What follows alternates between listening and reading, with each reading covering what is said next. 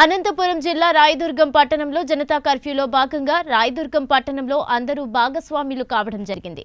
Corona నివారణకు ఎంతగానో కృషి చేస్తున్న మన వైద్య సిబ్బందికి పోలీస్ అధికారులకు అధికార అనధికార సిబ్బందికి అందరికీ రాయదుర్గం ప్రజలు చప్పట్లతో అభినందనలు తెలియజేశారు.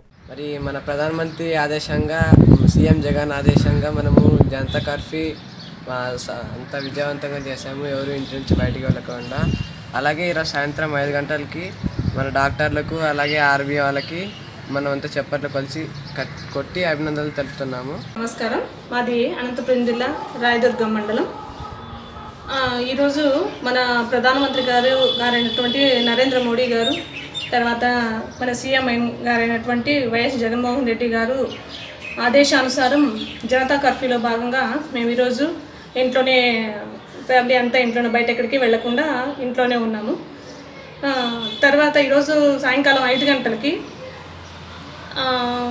మనకు ఎంతో సేవ చేసినటువంటి మనము కర్ఫ్యూలో భాగంగా జనతా కర్ఫ్యూలో భాగంగా మనం ఇంట్లో ఉన్నప్పటికీ కూడా వాళ్ళ వాళ్ళ సేవలను ఆపకుండా హాస్పిటల్స్ వర్గం కానివ్వండి పోలీస్ సిబ్బంది కానివ్వండి ఆర్మీ వాళ్ళు కానివ్వండి వాళ్ళందరూ చేసినటువంటి సేవకు వాళ్ళు శ్రమించినటువంటి వాళ్ళ శ్రమకు మనము ఈరోజు ఐదు గంటలకు మన గవర్నమెంట్ ఆదేశానుసారం వాళ్ళకు మ్, చప్పట్లతో చప్పట్లతో అభినందనలు తెలియజేయడం జరిగింది.